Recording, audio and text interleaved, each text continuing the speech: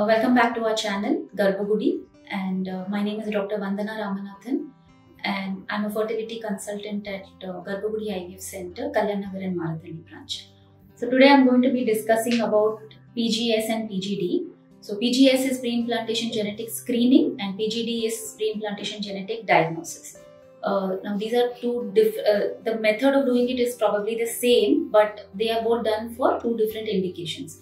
Now today i'll brief you on as to what are, what exactly these tests are and whom these tests are done. So pgs is that is pre-implantation genetic screening is when you screen uh, the number of chromosomes and pattern of chromosomes uh, in the embryo. These are usually tests that are done in the embryo. So when patients come to us with uh, now in whom are these indicated? So there are couples who come to us with previous two, three, four failed IVF cycles. Uh, you know, some couples uh, come to us with recurrent miscarriages and they want to know why that is happening. So first and foremost, we have to in such couples we have to do something called karyotyping of the couple. Now karyotyping of the couple is when we do the genetic screening the chromosome pattern, number and pattern of the couple from their blood. So the karyotyping of the couple is first done to see whether they are genetically normal because some patients who have recurrent miscarriages, recurrent IVF failures can have minor uh, you know genetic uh, issues which can lead to these kind of problems. Uh, second is there are some couples who come to us with uh, you know they themselves are having some kind of genetic abnormality or they have some genetic abnormality in their family which runs in the family. So you know they come to us with queries where they are worried that the same problem can happen in the child. So we have to you know do certain tests in these couples and for the embryos of these uh, patients to uh, you know confirm that the embryo is a normal embryo healthy embryo which is not carrying the same genetic abnormality as the patient or the family so that is where your PGS and PGD comes into play. Now, supposing couple has come to us with uh, you know uh, what are the indications of pre-implantation genetic screening. Now pre-implantation genetic screening is the old terminology. The new terminology for this is your PGTA that is pre-implantation genetic testing. A stands for aneuploidies. So it is pre-implantation genetic testing for aneuploidies. Aneuploidies are basically where we see for the chromosome numbers. It can be one a number more or a number less. So we rule out uh, you know something called uh, monosomy or trisomy. Trisomy like down syndrome trisomy 21 that is then trisomy 13 trisomy 18 so these are things that can be diagnosed by doing pgta that is pre-implantation genetic testing for aneuploidies in whom uh, which kind of couples are these indicated so basically, in couples who've had previous repeated IVF failures, previous recurrent missed, uh, early first trimester uh, missed abortions, that is early pregnancy losses. Uh, you know, patients, uh, women who are more than 35 years of age, because as age increases, the egg uh, quality comes down, and these eggs have more chances of leading to aneuploid pregnancies, that is abnormal chromosomally abnormal pregnancies. So these are the patients in whom PGTA is indicated.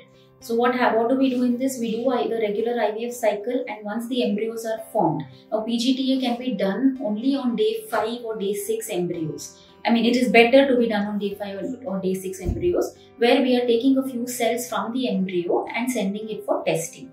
Now the report uh, takes uh, around 3 weeks or 4 weeks to come. So meanwhile the embryo will be frozen and uh, once the genetic testing is done on those cells. Now this is just a representative of the entire embryo because you're not going to test each and every cell of the embryo.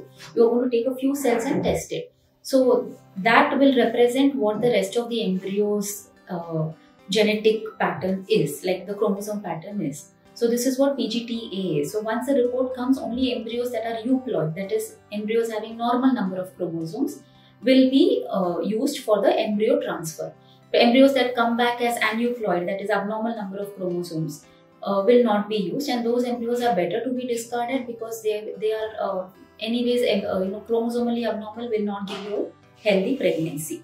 This is what PGTA is about. And uh, whenever we do genetic testing of embryos and chromosome pattern, the sex of the uh, embryo is never revealed. It is only given as a normal euploid embryo or an aneuploid that is abnormal embryo. This is what PGTA is. Now, what is PGT, PGD? Again, PGD is a old terminology that is pre-implantation genetic diagnosis. Now, the new terminology is split into two. One is PGTM, that is uh, pre-implantation genetic testing for monogenic disorders, and PGT-SR, that is pre-implantation genetic testing for structural rearrangements.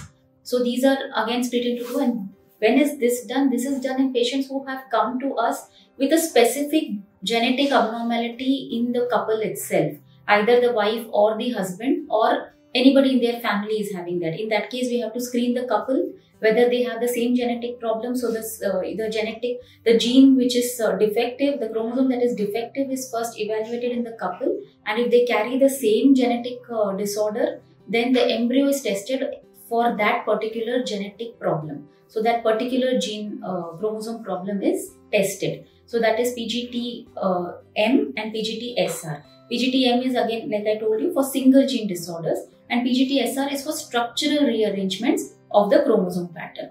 So this is when any specific abnormality has already been identified in the couple, we have to do, then it is mandatory to do this uh, testing in the embryo because chances of the baby getting that uh, disorder will be, you know, likely likelihood will be more. So it is always better to get the embryo tested before that embryo is transferred into the uterus of the lady. So this is in brief about what is PGD and PGS. If you have any more queries um, on this subject, please feel free to reach out to us on our website or on the number that has been given in the description uh, below. And uh, if you like this video and you found it informative, please do share it with your friends and family and uh, please do subscribe to our channel. Thank you very much.